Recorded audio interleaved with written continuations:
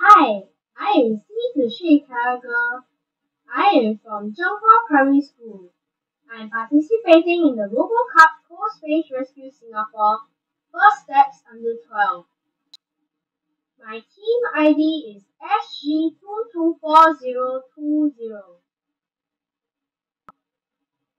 Executive Summary of Preliminary Challenge Since I'm participating in the First Steps Under 12, I have to first pick up the colorful objects, second, avoid the walls, third, deposit the objects, and fourth, stay away from the trap. And as a result, I got 1,395 points.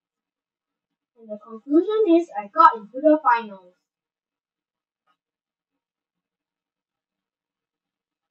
How to win? So firstly, if my robot sees a wall, turn away or else my robot will just keep banging into the wall. If my robot senses an object with the color sensors, I must pick it up. If my robot is in a deposit, I must deposit to earn points for my robot. And number four, if my robot senses yellow, also move away, as we don't want to get into the trap and lose points. So this is strategy number one that I use.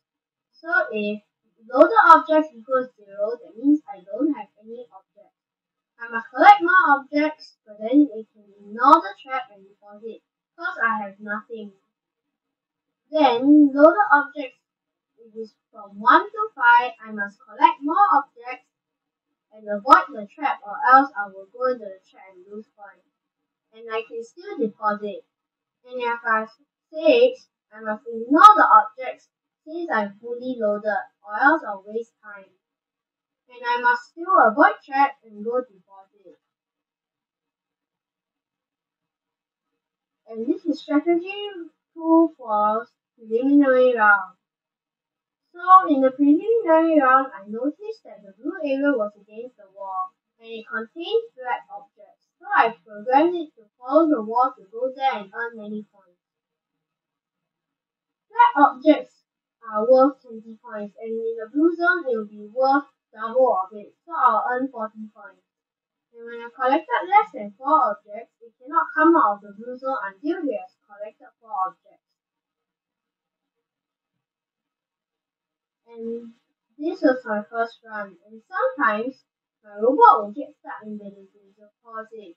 So I changed some code and it could work.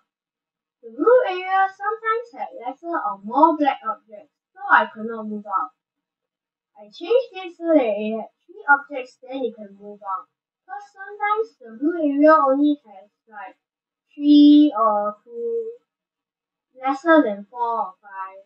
So I will get stuck in the blue area and not deposit. And this is the finals.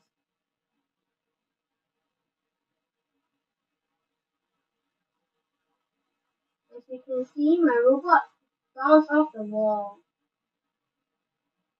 and is now avoiding the trap.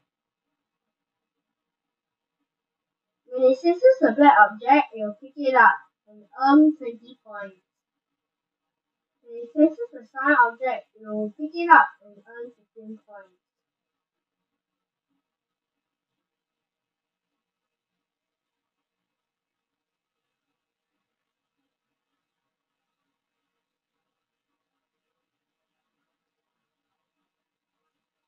Now, when my robot says the deposit, it will go and deposit the object into it. My robot just ignored the trap just now as it zero object. And now my robot is picking up a red object.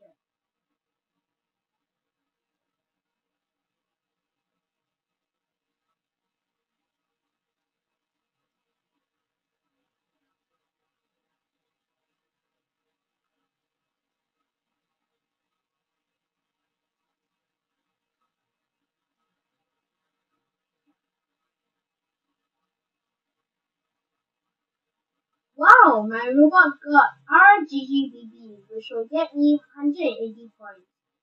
And since I'm fully loaded, it ignores all the other objects and goes to the into the deposit. And there I go. 180 points. Applying knowledge gained to the real world. So in Cold Rescue, there are areas like the blue areas that you need to remember to stay, just like a policeman.